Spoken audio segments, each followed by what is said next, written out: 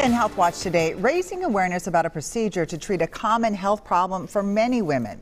Uterine fibroids can cause a lot of pain and bleeding. One option for treating these benign tumors was to remove a woman's uterus. After a less invasive treatment, Marielle Mohs introduces us to women wearing white again to show that they are no longer embarrassed by this health problem. Hello. Dr. Rochelle Wolf is seeing her patient one year post procedure for a uterine fibroid embolization, better known as UFE. Yes, yes.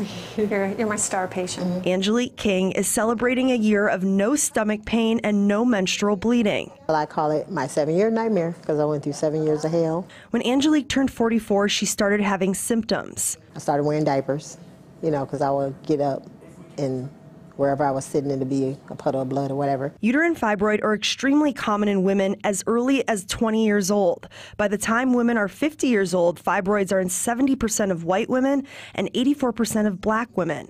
The most common cure to fibroids is getting a hysterectomy, removing the uterus. But Dr. Wolf says a hysterectomy is not the only option. You actually don't see any uh, remnants of those fibroids that were in the lining of the uterus. She's showing Angelique's ultrasound, a success story of UFE, a procedure she offers at Vascular and Interventional Experts in Edina.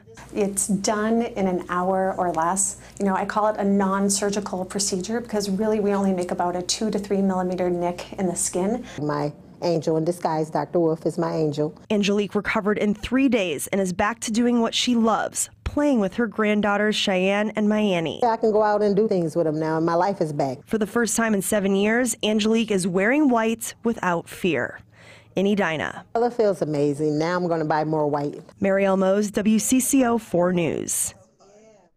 July is Fibroid Awareness Month. The staff at Vascular and Interventional Experts in Edina are wearing white to spread awareness about uterine fibroid cures.